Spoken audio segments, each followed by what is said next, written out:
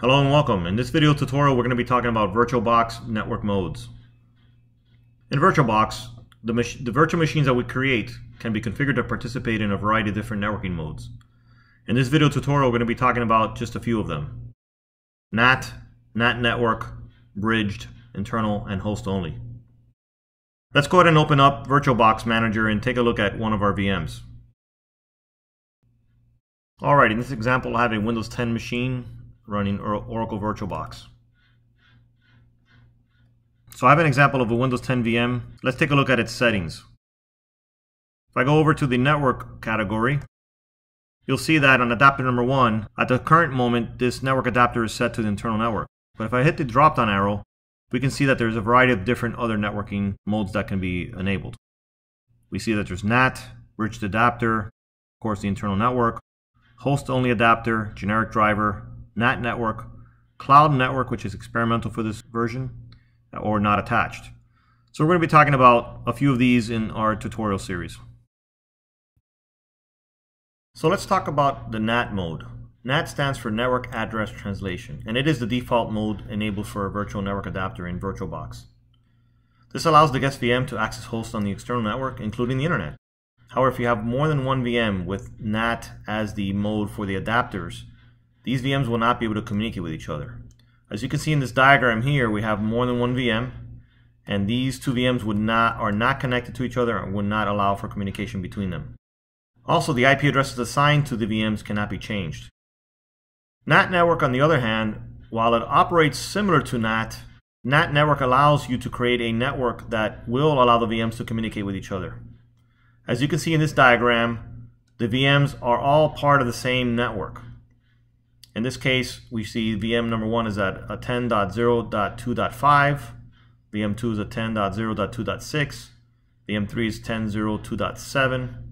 So all of these VMs are operating on the, on the 10.0.2.0 slash 24 network. The NAT network mode allows inter-VM communication while also being able to access external resources. Each of the VMs have to be placed on the NAT network mode. Next is bridge adapter. In this mode, you typically will allow the VMs to directly connect to the host network. This is a typical configuration for production servers you will find in a data center. Computers can communicate with the host network as well as communicating with other VMs that have the same adapter in this mode. Notice here that the real IP for the host on this network is 10.10.10.72 and the VMs have IP addresses in the same range.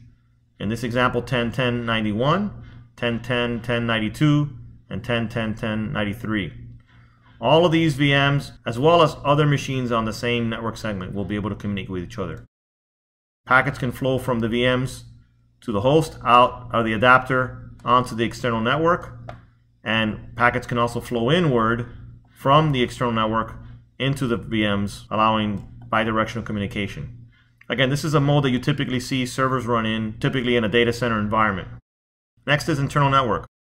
This is the mode you typically choose when you want the VMs to be configured in a way that only allows for the VMs to communicate with one another, but no other host on the external network or the host system itself. Actually, the best configuration for system testing, that does not require any access to an internal network.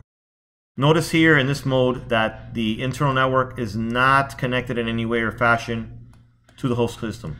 So these VMs, VMs1, VM2, VM3, while they can communicate with each other on this internal network, there is no communication between the VMs and the host system or the external network. Host-only adapter. This network mode is used for communicating between hosts and guests. A VM can communicate with other VMs connected on the host-only network and with the host machine. So this is very similar to the internal network, except in this mode you can also have the VMs connecting and communicating with the host operating system. Well, that's all for this presentation. In the next video, we'll be covering snapshots and how to use snapshots to help protect your VMs. Please remember to like, subscribe, and comment below. We'll hope to see you in the next video.